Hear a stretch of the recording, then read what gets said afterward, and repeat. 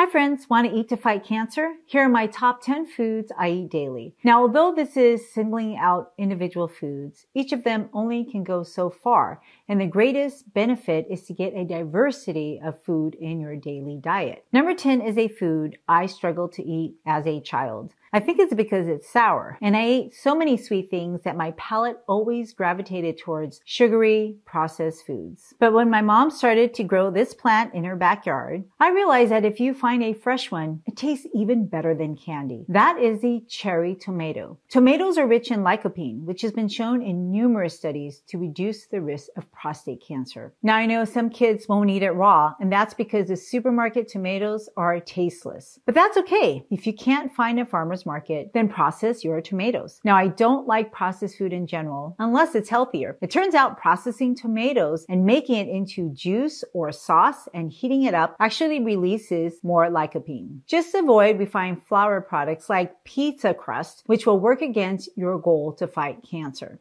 Just as a reminder, food isn't like a drug, which is designed to inhibit metabolic pathways. Real food gives your body thousands of building materials so your body can fight diseases. Ultimately, your body and your immune cells need a fight or you will lose the battle. Tomatoes are also rich in vitamin C, potassium, fiber, lutein, and zeaxanthin. Besides being beneficial to avoid prostate cancer, they help prevent depression and to help lose weight. And by the way, you have millions of cancer cells in your body right now. So do I. But if they don't grow, there's nothing to worry about because that's a part of life. It's like finding one ant in your house. That's no big deal. But when there is a whole army of ants, then you have an infestation. To prevent ants, the foundation of your house needs to be strong. Likewise, the foundation of your fortress, your body needs to be strong. If you build your house out of straw, you'll have ants left and right, especially if you leave sugar around, which is basically refined carbohydrates in pizza dough, white rice, bread, and pasta.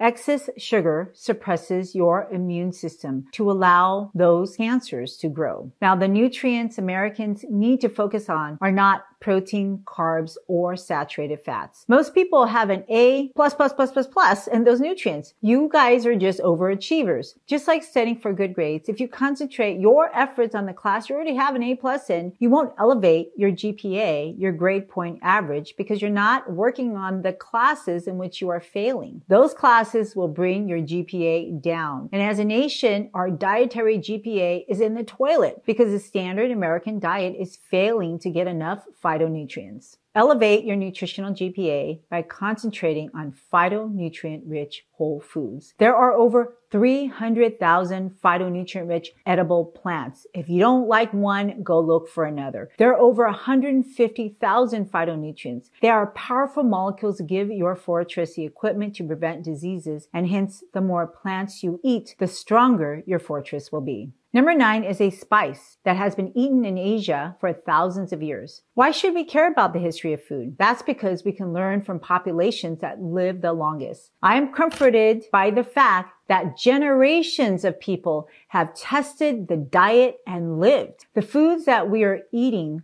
are creations of modern industry, invented in the last few decades and poisoning our metabolism. If you're following a new novel way of eating that appears to be beneficial in the short term, are you sacrificing your longevity? Hard to know until years later. Asians outlive Americans by over a decade. And for those of you into longevity, you should look into the Asian diet. There are no clinical trials that have followed people for thousands of years. Our country is less than 250 years old, and we have managed in the last 30 years to mass produce diabetes, obesity, and cancers and export these delicious lab creations across the world. Turn your favorite food around. And if there is an ingredient list, especially with materials you can't find in your own cupboard, that's not real food. That's a lab created product. So my goal is to introduce you to real food and how longevity cultures have eaten for eons. It's very rare to find clinical trials on food and toxins because it isn't ethical to poison people. Unfortunately, unexpected disasters happen happen. And when there is nothing else, that's when people turn to food. And this is a story of arsenic poisoning. This spice actually was used to treat arsenic poisoning in Bangladesh. Arsenic is an environmental pollutant left by industry and commonly poisons water, even today. And that's why rice has high concentrations of arsenic. Rice needs a lot of water to grow. If you're eating processed rice products, you may want to reconsider eating them.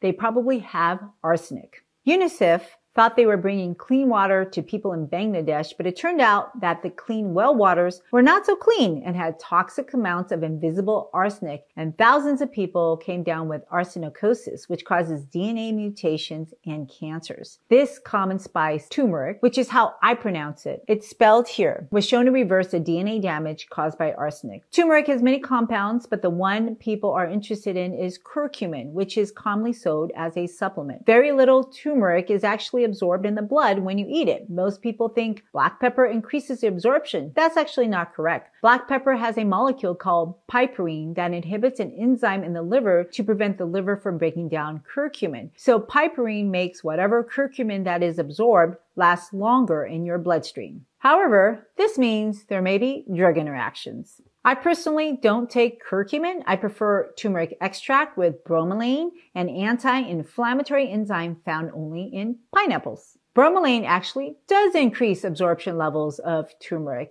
And best of all, there is no known drug interactions with bromelain, and it appears to work synergistically to reduce inflammation. If you want to know what I take, I have a link in the show notes below. But it's actually beneficial for turmeric not to be absorbed as its presence in the colon can help prevent colonic polyps, which can lead to colon cancer. And if you haven't noticed, colon cancer is rising in young people. I've seen many young people with aggressive, severe colon cancer in their 20s and 30s in this last decade of practicing medicine. It is sad and unbelievable. We've already reduced the screening rate of colonoscopies to 45 years of age. So if you meet the age criteria and you haven't gotten your colonoscopy, then please make an appointment with a gastroenterologist to get your colonoscopy to screen for colon cancer. But our current screening practices won't help those young people. And young talents like Chadwick Boseman, he sadly succumbed to colon cancer. So screening isn't practical. The reality is we also don't have enough gastroenterologists to screen everyone. And if you depend on screening to prevent colon cancer, you've missed the boat of health. The goal is to prevent polyps. That is what they are looking for, abnormal growth. And if your diet has any meat, including chicken, red meat, and processed meats, you are at a higher risk of getting colon and rectal polyps. Processed meats are especially bad as they are associated with advanced colorectal cancers. And you may have a diet rich in those foods or know someone who's elderly and don't have colorectal cancer. Well, that's great for you and them, but it's like smoking some people can do it for a long time and be okay, but that's not most of us. It's like parachuting. Many people can safely parachute out of planes, but then you get those who get fractures. What's your risk tolerance? Unless you are a healthcare worker or have personally helped someone who has fought cancer, you may not understand the journey of surgery, chemotherapy, and radiation. This is a hard road to travel. And personally, I have a low risk tolerance. I would rather reduce my risk of diseases than have to go through treatment because it may not work. Number eight is a powerful seed that contain lignans. Lignans are found in a variety of plants, including a variety of seeds, grains, fruits, vegetables, and berries. Lignans appear to block an inflammatory molecule called interleukin-1. Interleukin-1 is one mechanism by how the blockbuster cancer chemotherapy drug tamoxifen works. Tumor cells have interleukin-1 receptors, and when interleukin-1 binds to the receptors, it makes the cancer grow stronger and behave more aggressively to invade. And for pennies a day, you can eat flax seeds to reduce your breast cancer risks and boost the effects of the drug tamoxifen if you're on it. In one month of just eating a few spoonfuls of flax seeds, it appears to increase the anti-inflammatory inhibitor levels by over 50%. And the best part about eating food is that they don't have the cost or the side effects of the drugs. I eat flaxseed for this reason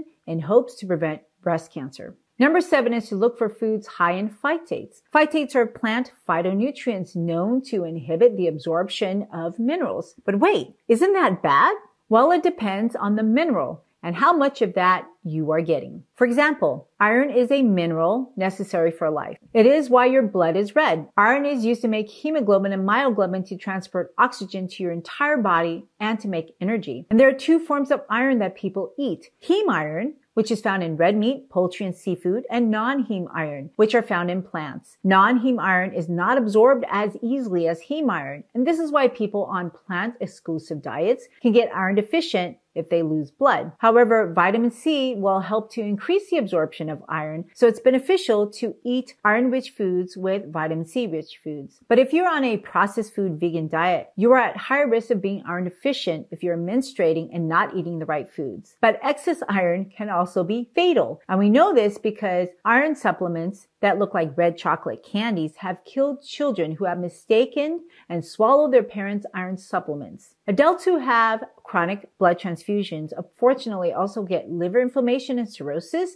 from iron overload. I see these people. Unfortunately, this is a major problem in people who have sickle cell disease. You see, your body can get rid of iron and it is stored in your organs like your liver, your brain, and your muscle, and it's toxic in excess. And I'm sure you've seen a rusty red nail. That nail is made out of iron. That's oxidative stress that happens with iron in your body. Your body is literally a chemistry lab and everything you eat will ultimately be converted to the molecules you see on the periodic table of elements that you learned in elementary school. The rules of organic chemistry with electrons moving between cations and anions apply to your body. So when you have a meat-centered diet, you will overload your system with oxidative stress and with iron, which is not only toxic to your organs and excess, but also causes inflammation in your gut. And this is why heme iron is associated with an increased risk of colon cancer. Eating red meat once a week doubles your risk of getting colon cancer. But along with your meat, if you ate beans, which are rich in phytates, it can help reduce that risk, not only because it binds iron, but phytates are known to starve cancer cells and enhance the immune system, specifically natural killer cells, which are white blood cells important with your first line of defense, your innate immunity that not only scouts out cancerous cells, but also germs like bacteria, fungi, and viruses. Phytates are known to help rehabilitate cancerous cells and help them revert back to normal cells it's like rehabilitating people who break the law and then help them get along with society. In fact, prisoners who were fed a plant-based diet were less violent and had lower rates of recidivism. When you eat whole plants. Part of that food is feeding your gut microbiome, which converts fiber into short chain fatty acids like butyrate to help prevent depression. So if you're struggling with your mood and patience, maybe you aren't eating enough whole plants with fiber. Feeding prisoner plants will also save taxpayer money because the food will be cheaper and there will be less diseases including colon cancer. If prisoners develop colon cancer, the prison system will still have to treat them. So in the end, colon cancer may be determined by your meat to vegetable ratio. I still cook and soak beans thoroughly to reduce the phytates in beans. There's a fine line between no absorption and some absorption.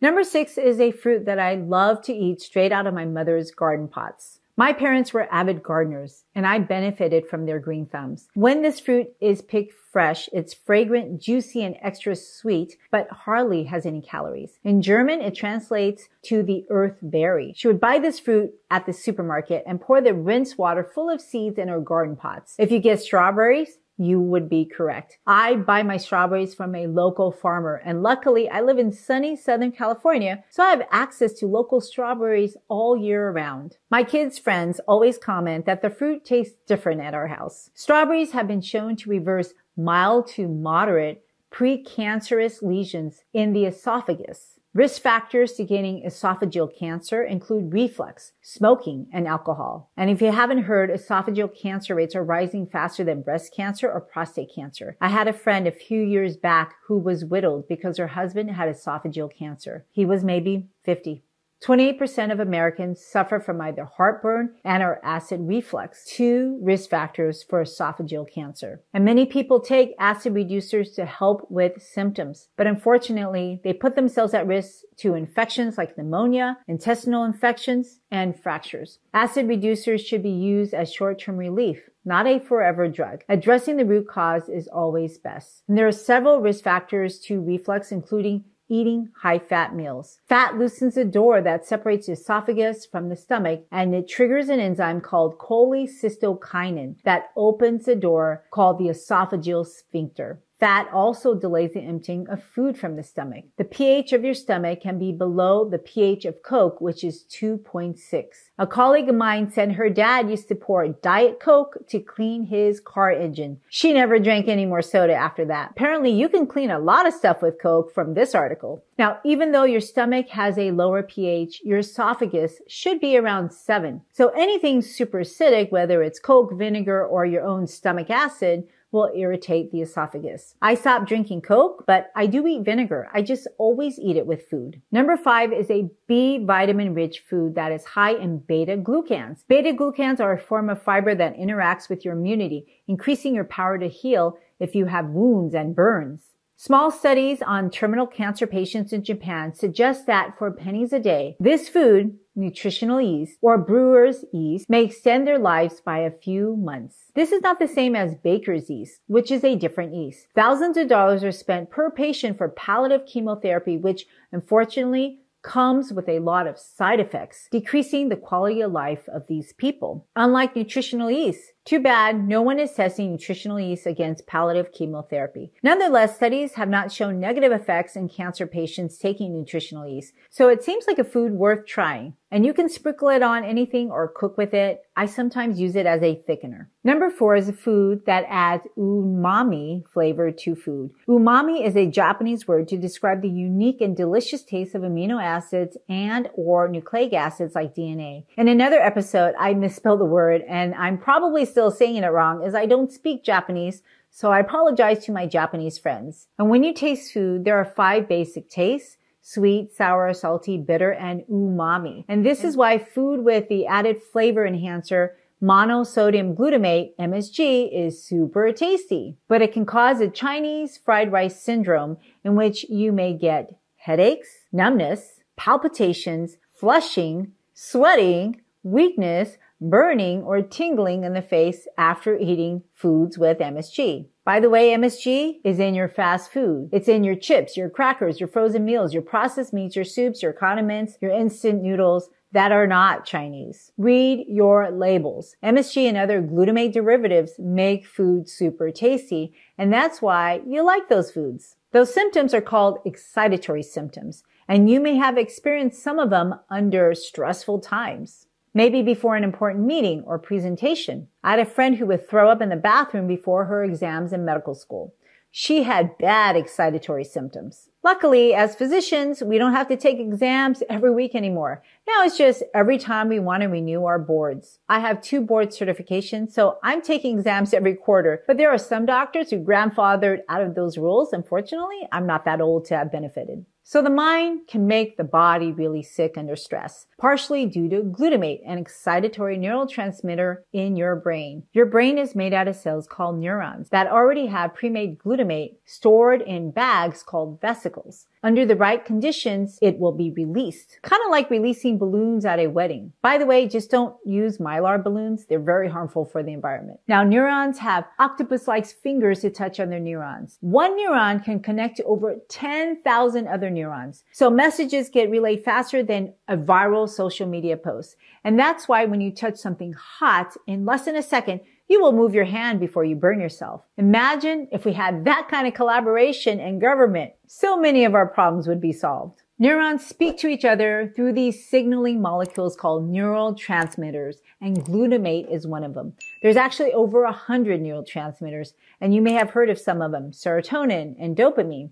Glutamate is super important. It's essential, but your body can make it. It's also special because it is a master neurotransmitter. And you can actually change your glutamate levels by exercising and practice mindfulness. But too much is not necessarily better. People with chronic pain have higher glutamate levels. So how does glutamate work? Think of a neurotransmitter as a key and the receptors as a locks. The key is useless unless you can open a lock. I have a bunch of useless keys in my drawers and I wish I had a master key that can open all the locks in my home. Glutamate is like that master key and can interact with four different receptors in your brain. 90% of the excitement that happens in your brain is due to glutamate.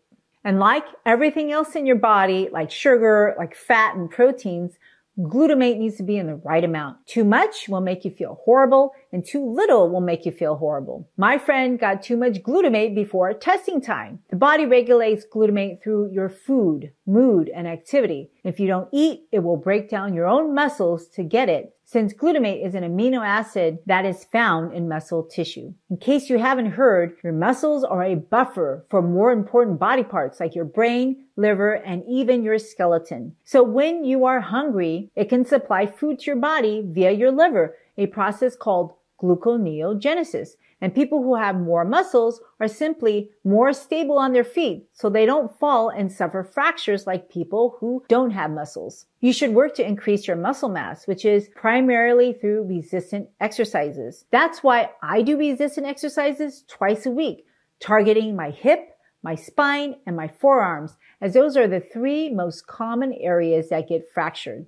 If you're over 40, you are losing muscle mass every year unless you work on building it. As a master neurotransmitter, glutamate contributes to feelings of stress and anxiety and depression. Glutamate regulates sleep. Glutamate is also important for learning and memory and as fuel for your brain when glucose is absent. We don't have enough glucose to make ATP energy for your brain. Glutamate will be used in the same metabolic pathway called the Krebs cycle to crank out ATP energy in your mitochondria. And this is why when you go on a low carbohydrate diet or a fasting diet, your muscles will get broken down to make glutamate, which then turns into glucose. And by the way, when you eat an excessive amount of protein, unless you're building muscle like an athlete, that protein doesn't get stored as muscle. There's no storage depot for protein other than muscle tissue, which you can't build much unless you exercise. Any excess protein that you eat and don't use for the day is stored as fat. And hence, when you don't eat carbohydrates, your body still needs to get glucose somewhere. It is true you don't need to eat any glucose or any carbohydrates. But if you don't, you will break muscle tissue to meet your essential glucose needs. It's still an essential energy molecule. And you can measure this change on your calf muscle. And you can read all about the biochemistry of upregulating hormones like cortisol and reducing hormones like insulin and insulin growth factors on low carbohydrate and ketogenic diet in this article that explains how muscle tissue is destroyed. Now, although it is true that carbohydrates are not essential for life, could they be essential for longevity? However, anything in excess is usually toxic, so diets on either extreme either low carbohydrate or high carbohydrate may be increasing mortality. And I can tell you from my clinical experience that I see people who struggle with infectious diseases when they are on the extreme on low carbohydrate diets or highly processed carbohydrate diets. If eating a low carbohydrate diet was optimal for performance, why don't we have elite athletes eating low carbohydrate diets? The ketogenic diet is 70 to 80% fat and 10 to 20% protein. And it has been around since 1920 invented as a diet to treat seizures. If anybody wants to optimize performance, that would be athletes. Bodybuilders are different. They have big muscles, but they don't perform like endurance athletes. That's why marathon runners are super skinny. And there's a whole bunch of omnivorous athletes who have become predominantly whole food plant based. And here's a list of some of them. You may recognize some of these people. No matter what diet you eat, the quality of your food makes a huge difference in your health. Removing toxins is number one. Great health benefits will come just by giving up toxins. Processed foods loaded with refined sugars, enriched flours, saturated fats, emulsifiers, gums, and other chemicals are toxic and destroy your mitochondria, your gut microbiome, and your immune system. These are basically hyper palatable addictive junk disguised as normal food in your breakfasts, lunches, dinners, and snacks that are contributing to our mental health crisis and lower IQs in our children. I'm flabbergasted that New York is serving children Lunchables at school or private schools who partner with fast food chains to serve lunches and sell candy. These energy rich carbohydrate fat bombs are the main mm-hmm. contributors to metabolic diseases like fatty liver, diabetes, and poor outcomes for infectious diseases and bad outcomes for cancers. Cutting these foods out, no matter how you do it, whether it's using drugs like Ozempic, not eating, basically fasting, going on a low carbohydrate diet, a ketogenic diet, a carnivore diet, or a whole food plant-based diet will all essentially remove these toxins that are driving the mental health and metabolic crisis plaguing our societies. And if you find yourself thinking negative thoughts, being impatient with your kids, getting angry, lashing out on people, saying unkind words, or writing mean comments on social media, then maybe it's due to the foods that you're eating.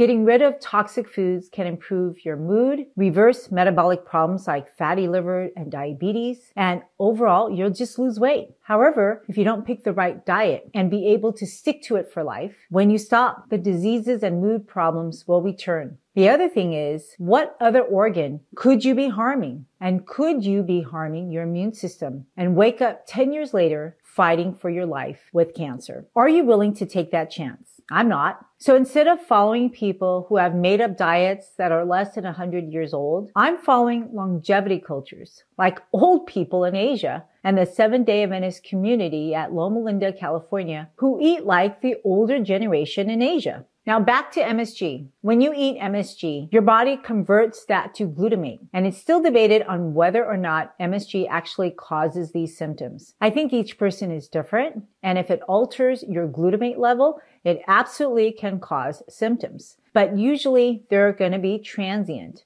And I know several people who can tell if there's MSG in food because they simply feel different. My husband is one of them, but I can't taste or smell the difference. He's like the canary in the coal mine. If the canary is telling me there's MSG in the food, I'm not eating it. It's like giving someone the master key to your house. And when you unnaturally increase a natural molecule that can interact with your body with no feedback control, that's potentially very harmful. And this is why I believe all the additives, including fiber additives that they use in bread, are not healthy and they will change your gut microbiome, your largest immune organ, in ways in which we have yet to discover. I did a bread video and got a lot of feedback on why fiber additives are used to manipulate the texture of breads to make it moist and fluffy. And I got remarks as if they're doing it on purpose. Well, they are doing it on purpose because baking is a chemistry and it actually is quite fun to do. I used to do it. But adding fiber is no different than using sugar to change the taste and texture of your food. It's highly processed food.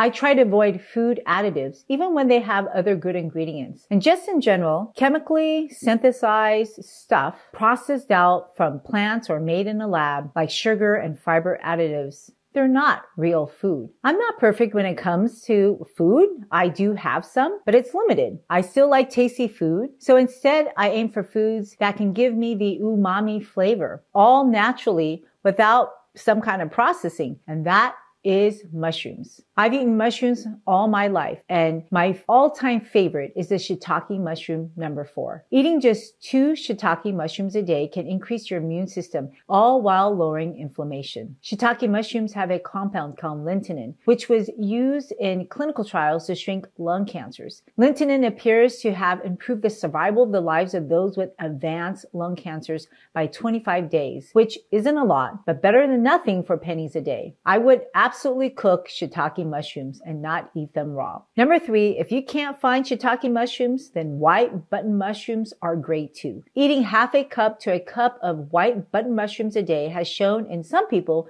to reduce their prostate specific antigen, a marker for prostate cancer. Now, it didn't happen to everybody, but if you respond to a cup of mushrooms a day, wouldn't that be great? Number two is to get this bean that I grew up with. Actually, my ancestors have eaten this bean since 11th century BC. Rutgers Agricultural College in 1879 was the first to test this ancient bean, but it was mostly used as fertilizer in America until World War II when they processed it into oils and edible fats. But it wasn't until the 1970s when William Shurtleff, a Stanford trained engineer, introduces soybean and soy foods to America with his research and publications. Now I know there's a lot of controversy about soy foods, just like there's a lot of controversy about estrogen hormone replacement. But one has been eaten by my ancestors for thousands of years, and the other is a hormone isolated since 1942 from the urine of pregnant horses, pregnant mare urine, hence the name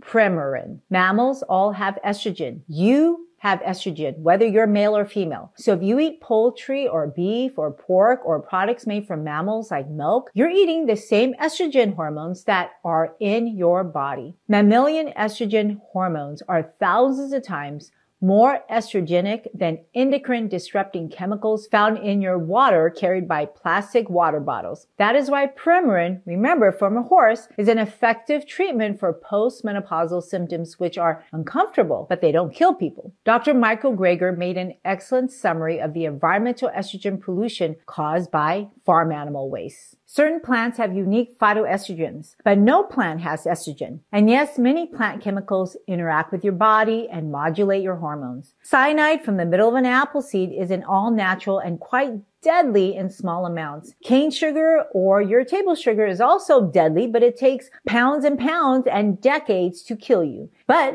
it too raises hormones like insulin. So there is no animal or plant product that has no effect on your hormones. Soybean is concentrated in unique phytoestrogens called isoflavones, specifically genistein and daidzein, which both have a much weaker effect than your own estrogens or any other animal estrogen, and they can also exert anti-estrogenic effects. Different soy products have different amounts of isoflavones, as in this table. Your body also makes different estrogens. Premenopausal women have higher estradiol from the ovaries, and when they eat plant phytoestrogens, those plant phytoestrogens will act more like anti-estrogens, protecting your bodies from the negative effects of too much estrogen. However, postmenopausal women don't have much estradiol and they benefit actually from the weak estrogenic effects of isoflavones. That's why it reduces postmenopausal symptoms. And if you're a man, you may have heard it can cause gynecomastia, enlargement of breast tissue.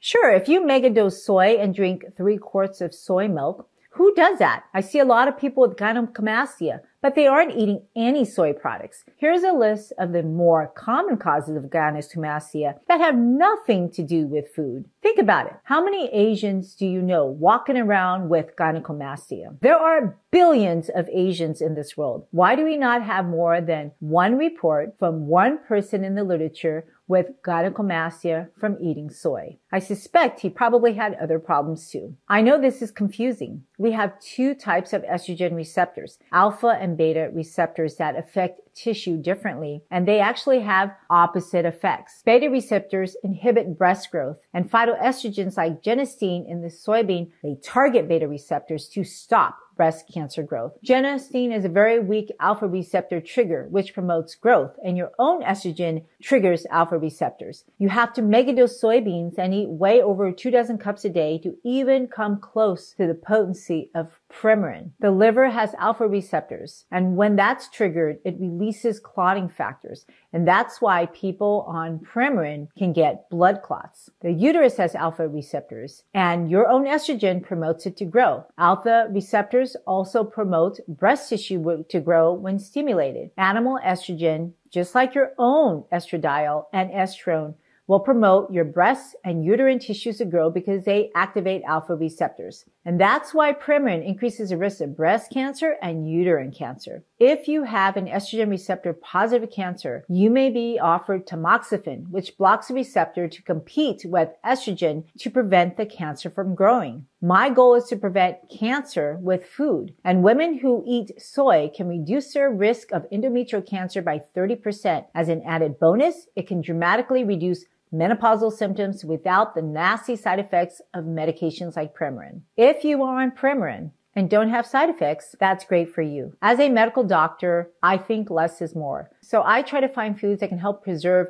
health span. For myself, I drink soy milk because I don't want to get bone fractures as I age. This study showed an increase in bone mineral density, especially in the lumbar spine when people eat soy. My dad suffered a lumbar spine fracture that was the beginning of the end of his quality of life. So I'm trying to do whatever I can not to suffer the same fate. Bone density, however, is meaningless unless you can reduce fractures. And that's why osteoporosis drugs don't work as intended, as they can destroy bone and cause fractures. Soy, on the other hand, has been shown to reduce fractures, unlike dairy, which is associated with higher fracture rate. Dairy milk is not so good for bones, opposite of the marketing propaganda that it was fed to us as children. Luckily, I've never really liked the taste of dairy, and I figure I am lactose intolerant like most people in this world for a reason. Lactose is a disaccharide sugar broken down by an enzyme called lactase into two sugars, galactose and glucose. And for those of us who are lactose intolerant,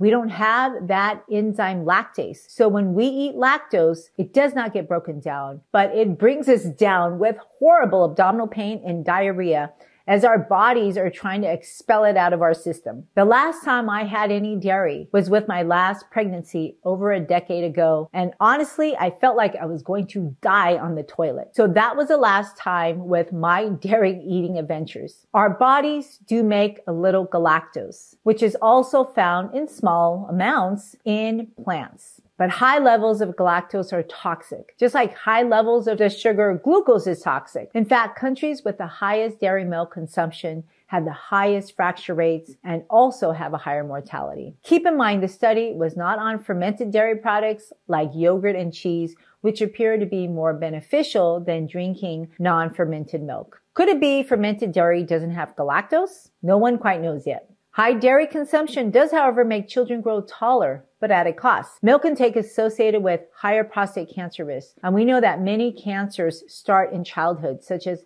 melanoma. And this study found that women who have teenage acne had higher risk of melanoma. Milk consumption increases acne. I heard the Duchess of York is fighting malignant melanoma right now, and I wish her all the best and hope her treatments are as successful as the treatments that President Jimmy Carter received to cure his melanoma. This is why it's important to feed our children healthy foods. I encourage my children to eat soy because eating soy as children, teenagers, and adults are all associated with a decreased risk of breast cancer. And by the way, men can get breast cancer too.